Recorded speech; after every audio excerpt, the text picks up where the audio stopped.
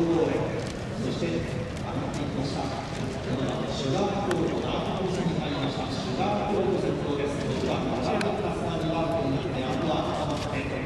から上がってきました8番マルモエキスパーティーが3番手がセーターフルローベが外うちには4番のファンタナリです。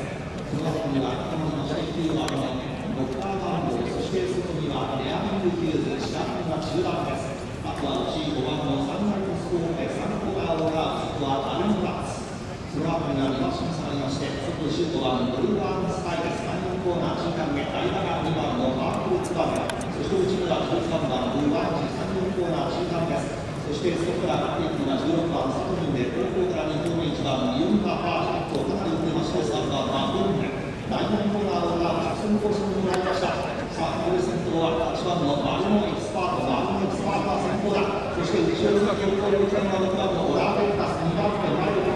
そしてそこから白木が追い込んできから20番のセカ高校で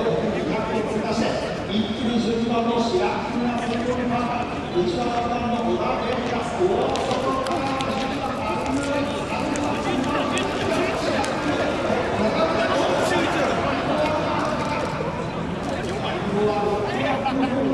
番。